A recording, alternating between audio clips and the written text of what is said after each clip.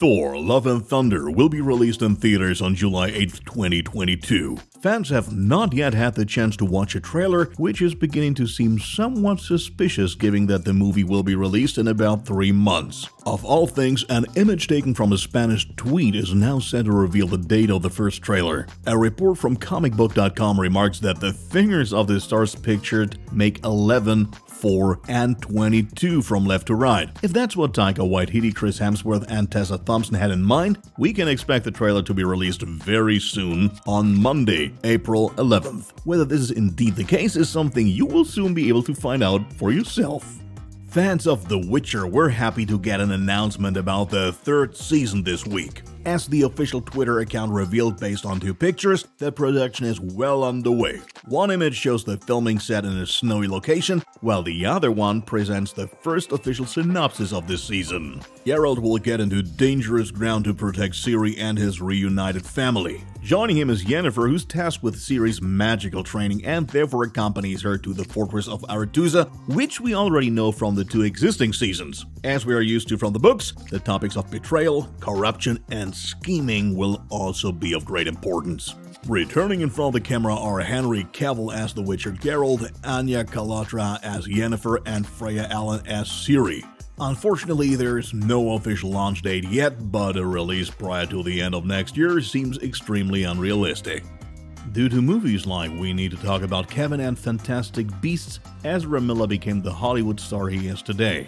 In the past, though, Miller rarely stood out for positive publicity. There were recurring issues related to drugs and drinking, and he was considered an extremely difficult individual to deal with behind the scenes. This was also evident from several escapades to which Miller allowed himself in the past. In April 2020, a video circulated showing the 29-year-old assaulting a woman which already caused some controversy at the time when Johnny Depp was being dismissed. Nevertheless, he was allowed to stay on both Fantastic Beasts and The Flash, surely also because an exclusion from one would have meant an exclusion from all other Warner projects.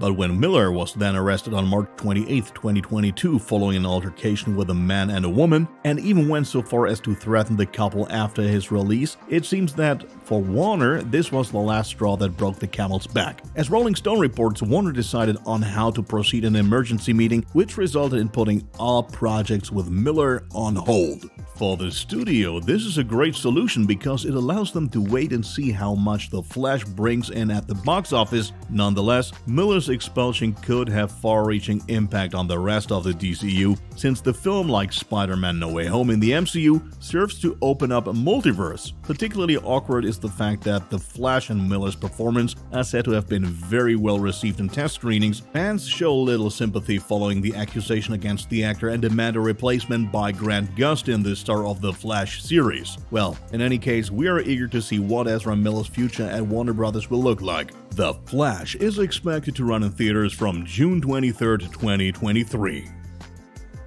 Last year, the South Korean Netflix series Squid Game suddenly became one of the most popular and successful series of all time. After the relatively open end of season 1, Squid Game creator Hwang Dong-hyuk shared his thoughts on the planned start of the new season in an interview at the annual MIP TV in Cannes. Thus, the new season is expected to begin at the end of 2024 if everything works out as planned. He has already completed the first pages of the script and is currently in the middle of the creative period of the screenplay play. Along the way, he's also working on Killing Old People Club, his new movie which is supposed to live up to its name with boundless brutality that reportedly exceeds even that of Squid Game. Naturally, not much is known about the plot of the new Squid Game season yet, but in this regard, we can recommend our Squid Game original, where we introduce you to the most exciting possibilities. We will gladly keep you up to date on further news about the next season. In recent days, there has been a lot of speculation surrounding the production of the third season of The Mandalorian, as a set employee posted a picture via Instagram announcing the end of shooting. When the post was deleted shortly thereafter, it only further fueled the rumors about the conclusion. Meanwhile, though, it has become official as Greef Karga actor Carl Weathers finally shared an image on Twitter that confirmed the fans' speculations. Still unclear, however, are the exact cast and plot of Season 3. Known are the aforementioned Weathers, Giancarlo Esposito as Moff Gideon, and of course Pedro Pascal as the eponymous Mandalorian. The sole known newcomer is Back to the Future star Christopher Lloyd, as we already reported two weeks ago. Sadly, it is not yet confirmed as to when we can expect the new season to launch on Disney+. The situation is different for the upcoming Obi-Wan Kenobi series, which is scheduled for release at the end of May. As as Ewan McGregor announced in a recent statement, however, the series will not be released on May 25th as previously planned, but two days later on May 27th on Disney+.